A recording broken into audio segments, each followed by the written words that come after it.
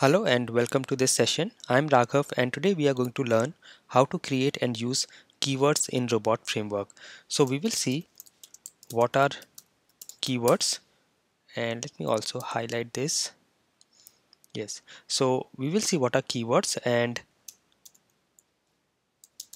types of keywords in robot framework and then we will see how to create keywords and then how to use the keywords.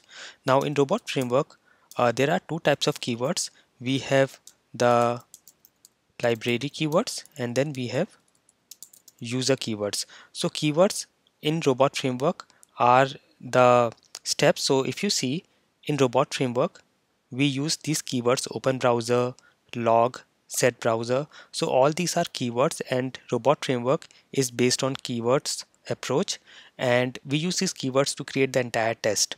Now here all these keywords like open browser, set browser, input text, press keys, all these are coming from Selenium library. So because we have added the Selenium library and therefore we are able to use these keywords and these are called library keywords. Now we can also create our own keywords using the library keywords or some custom keywords we can create our user keywords and then we can use them in our test. So let us see how to do that. So for creating a keyword we will have to create a section called keywords. So if you say keywords and press control spacebar you will get this option keywords. So we will have to create this section keywords. And here I can start creating a keyword. So for example I will create a keyword for doing login actions so I will have to name this. I will say this is login keyword. I will say this is login KW and now what I want is in our test so this is a test that we created earlier which is a login test. I want to have these three actions which is entering of username password and click on login button. All these three actions I want to store in a keyword.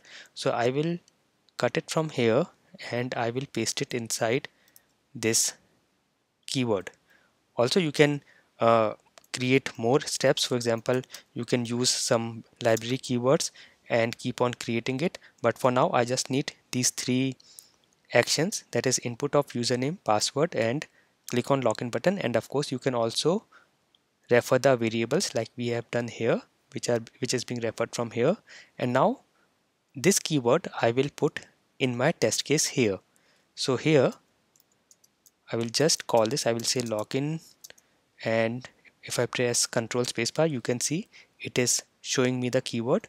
I will click this and I will save and I'm going to use this. Now one useful tip is if you go to your keyword here and you hover over it and press control on your keyboard this will convert into a link. So you can see this is now a link. If I release control you can see this is back to normal and if I press control on my keyboard it will become a link and I can click on this. It will take me to the keyword definition. So this is a tip that you can use to verify that your keyword is being referred properly.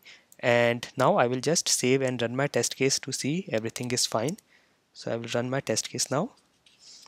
It is running the test opens the browser and logs in and logs out. So this is working fine and this is how you can create and use the keywords. So the advantage here is the use of keywords is you can